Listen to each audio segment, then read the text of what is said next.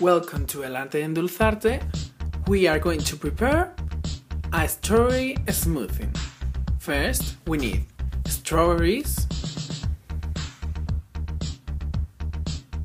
brown sugar, or normal sugar if you want,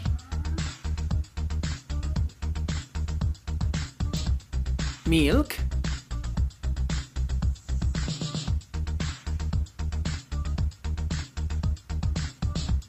And finally, we are going to use ice cubes. Now, we are going to start with this recipe. First, we have to wash the strawberries.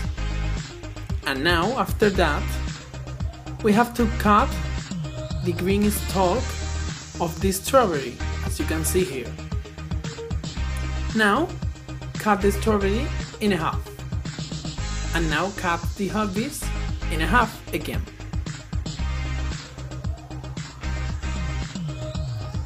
We have to make this with all the strawberries.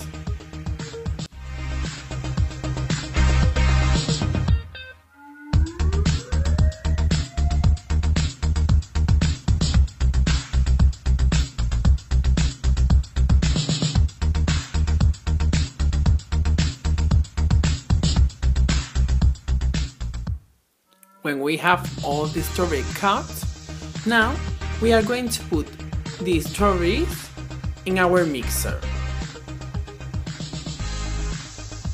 Now, add the brown sugar. And now, add the milk. Finally, we are going to add the ice cubes. So we are going to put all the ingredients in our mixer. And we have to mix all 4, 5 or uh, 10 minutes approximately. I mix all my ingredients for 10 minutes. As you can see here, we have our result. We have our smoothie here.